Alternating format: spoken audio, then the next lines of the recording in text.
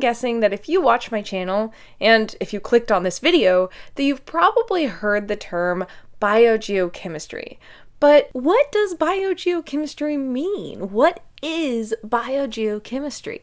Well, in this video, I'm going to be answering exactly that question. Now, don't be afraid or scared off of this video just because it's a big, scary word. It's very simple, and actually, biogeochemistry and biogeochemical cycles, which I'll explain later, are incredibly fundamental concepts. I don't think just for scientists, but for everybody. Because, well, you know what? I'm just going to tell you what it is and you'll see why. It's so important to understand. And not just important, but like really cool because you get to kind of learn how Earth works and how all of its systems are connected, which I find incredibly fascinating. Before we jump right into the video, allow me to thank the sponsor of today's video, Brilliant. Brilliant is an amazing online learning platform with thousands of really fun and interactive courses that I will talk about more at the end of the video, as well as give you guys a special offer just for my audience. So stick around to the end to hear more about Brilliant and the offer I have for you guys. So, what is biogeochemistry? To answer this question, I feel like we have to start breaking down the word. First, what is geochemistry? Well, geology and chemistry combined make geochemistry, meaning it's the study of the distribution and cycling of chemical elements in Earth's crust and interior. So basically, everything having to do with the chemistry of Earth's crust through time and spatial distribution, and geochemists investigate the chemical composition and behavior of elements and compounds in rocks, minerals, soils, water, and the atmosphere, basically any system on Earth. However, if we look at Earth as a system, as opposed to basically any other planet in our solar system, there's one component that really affects geochemistry, and that is, well, bio. Biogeochemistry adds a biological or life component onto this field.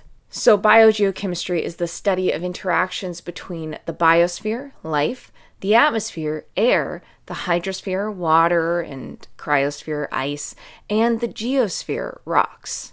And this is really important because Earth's biological, geological, and chemical processes are strongly interconnected. When people study biology or chemistry or geology in, you know, natural systems, it's nearly impossible to study just that ology in isolation because there's some other component or ology that's also playing a role. Like when I try and study the geology of sediments at the bottom of the ocean, which was a large component of my PhD work, that is heavily affected by the ocean's chemistry and the ocean's life content, the biology around. And that's why it turns into the study of biogeochemistry without me even trying because it has to. You have to to take into account those other components that are affecting the composition of that marine sediment. Yet I still get asked sometimes how can life really heavily affect the globe? How can any one species or multiple species induce global chemical or climate or environmental change? This is often a question directed at how can humans, one species on Earth, produce such a large effect that it causes global change. It just doesn't seem like one species could affect the entire planet. But there's actually many examples throughout Earth's history in which life has greatly affected global environments and climates on Earth. For example, we humans breathe in oxygen to live on Earth today, and this molecular oxygen makes up 21% of our modern Earth atmosphere. This relatively huge amount of oxygen in our atmosphere greatly affects the composition of Earth's oceans, lakes, and rocks. It also heavily affects the chemical processes that occur at Earth's surface. For example, how organic matter burns, in other words, fire, how fire forms, how much sunlight gets through our atmosphere. Ozone was formed when oxygen started building up in the atmosphere, and the blocking of certain UV rays by ozone is what allows so much of Earth's life to live today. However, this was not always the case. Oxygen has not been present in Earth's atmosphere for the entirety of Earth's history. It actually wasn't until photosynthesizing life came along that oxygen became quite abundant in Earth's atmosphere. This photosynthetic life that evolved around 3.5 to 3 billion years ago began producing oxygen until it built up enough to cause what we call the Great Oxidation Event, which at the time, to a lot of the anaerobic life that was on Earth, was detrimental. It caused a major mass extinction. However, it then allowed oxygen breathing life to evolve and become larger. I talk about why oxygen breathing life is able to be larger and multicellular and more complex in my How Life Got Huge video, I think, and I'll link that up to the top right for you. But if life had not evolved the ability to produce oxygen in this way, Earth's atmosphere would have likely remained much more CO2 rich and oxygen depleted ozone would not have formed, and life would have had to remain relatively extremophile life. In other words, life that lives in what we deem as extreme conditions today. And these organisms are typically microbial, so life would have probably remained microscopic if oxygenic or oxygen producing photosynthesis had not evolved, which is crazy. So, this is just one example of how life greatly affects the geochemistry of Earth, the global climatic and environmental conditions of Earth. Okay, okay, so this was one time, but another example of the importance of bio and biogeochemistry is where we get our resources, where we currently get most of our energy.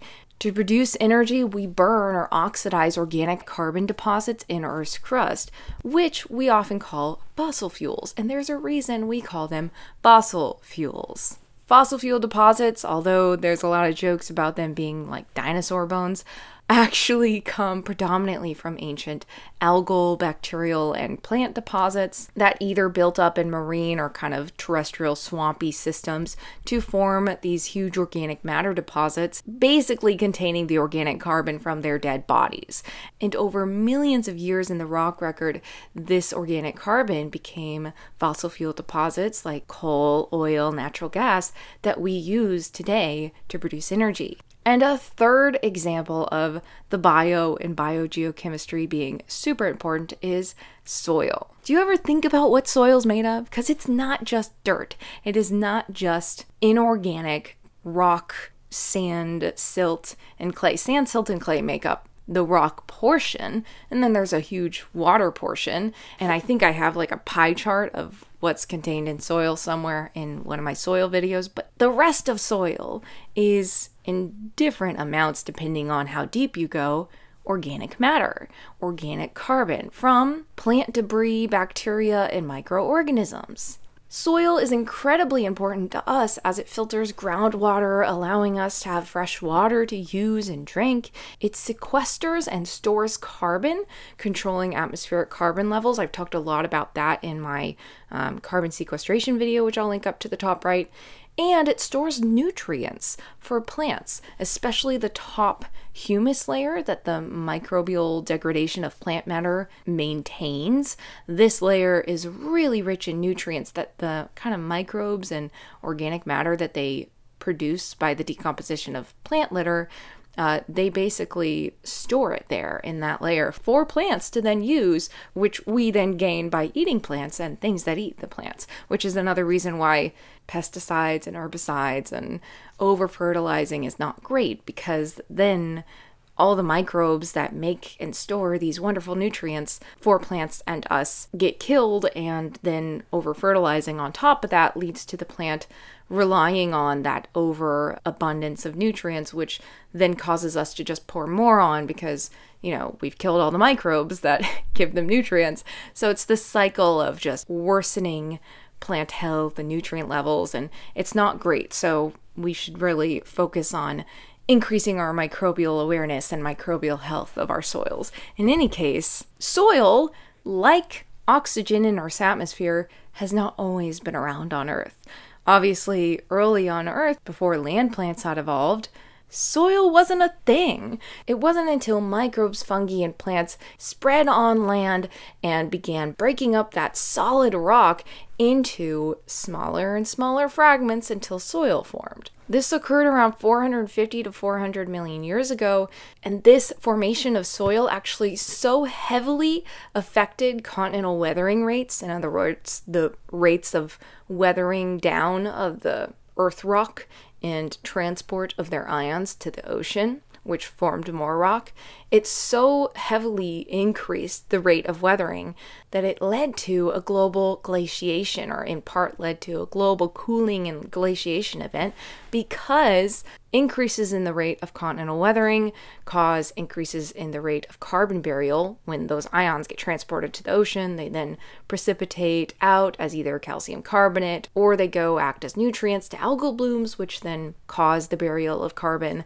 um, through their dead bodies, again, like we talked about earlier. And so all this carbon burial leads to a decrease in atmospheric carbon and therefore cooling, because atmospheric carbon is greenhouse gas, so decreasing it cools. I talk about that in a lot of my other videos, but that has happened a couple times in Earth's history in which plants have spread on land, first with non vascular plants like mosses in the Ordovician, and then with vascular plants like big trees and forests in the Devonian, which caused major global cooling and glaciation events, which in part led to the major mass extinctions at the end of the Ordovician and Devonian periods.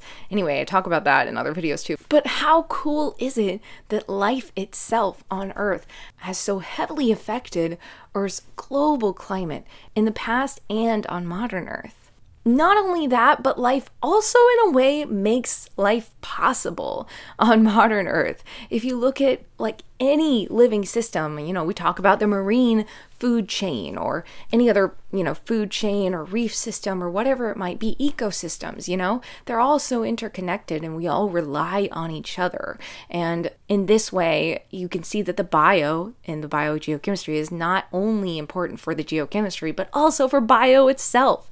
It's just incredible how intertwined these systems are within each sphere, biosphere, geosphere, etc., but also for the other spheres. And like I mentioned earlier, some people say, no, no way humans have such a major effect on global climate. We are just one species on this huge planet, way bigger than us. But like I just showed in just a few examples, life on Earth has caused global climate change and mass extinctions over and over throughout geologic time.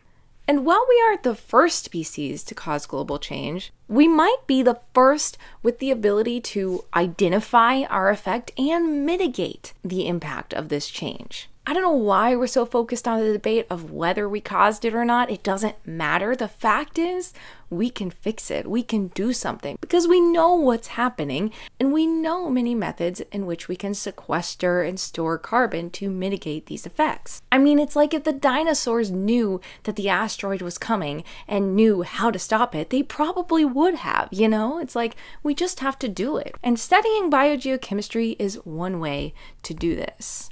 It improves our understanding of nutrient cycling, ecosystem health, and climate change progression, and allows us to one, identify our influence on climate change and distinguish it from other natural fluctuations and perturbations in our carbon cycle and climate. And once we identify our impact, we can work to mitigate the harmful effects. And so that is biogeochemistry, what it is, and why it's so important.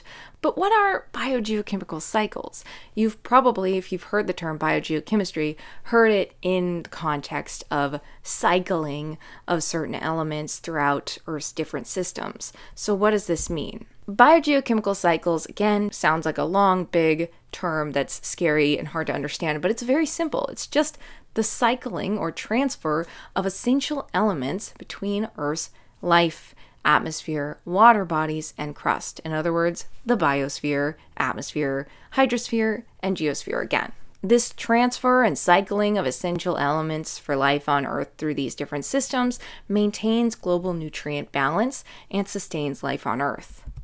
But what are the biogeochemical cycles. You've probably also heard a the put in front of it. So if there's some specific cycles that are commonly talked about, what are they? Well, I'm glad you ask. They're the CHNOPS elements. I've talked a lot about the CHNOPS elements in my videos, and sometimes I'll get comments like, What's CHNOPS? And I'm like, Oh gosh, did I not define it?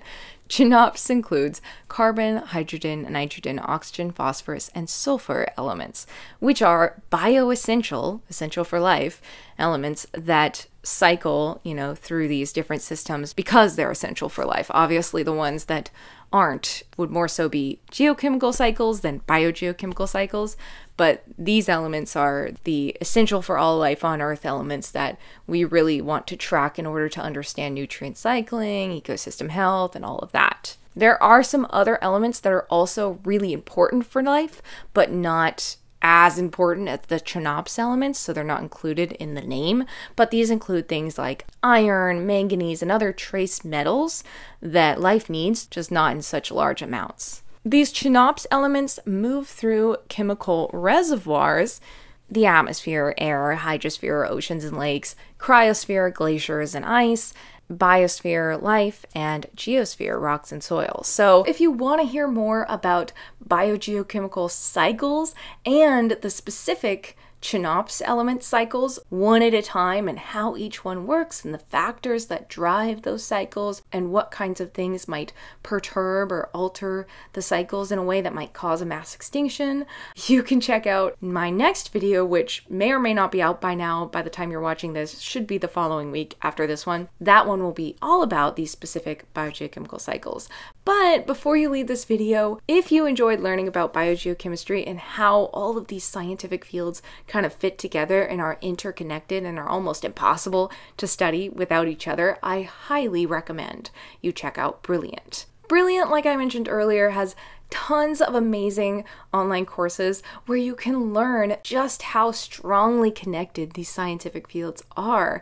I don't think they even really promote that about their courses and their website, but I realized through doing more brilliant courses that it really does give you a great understanding of how different science fields, physics, math, chemistry, statistics, geology are connected and work together and how you need a lot of those, you know, together to do one of them, you know? Like you can't do it in isolation. And that's one of the things I love about Brilliant, among many other things. For example, just how fun and interactive their courses are. I mean, you can toggle around things and play with things and really learn a lot on their platform. And I wish I could make my videos more interactive, but I unfortunately can't do any interactive things with you guys, so the best I can do is give you an amazing offer just for you guys in my audience, in which you can get 20% off an annual premium Brilliant subscription. That is 20% off with the link below in my description and pinned comment, brilliant.org slash geogirl. And if you don't want to commit right away, you can get 30 free days premium brilliant if you click the link down below. So i hope you guys will now go check out brilliant and do a couple lessons and then come back to watch my biogeochemical cycles video next week. Thank you so much for watching and i'll see you guys next time. Bye